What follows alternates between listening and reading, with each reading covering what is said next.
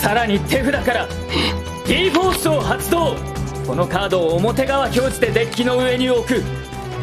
この状態の時僕はドローフェーズにドローすることはできない。だがブルーデ D のエフェクトには続きがある。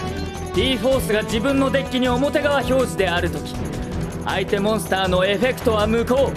そして僕のフィールドのカードに対するマジックトラップは発動できず破壊される。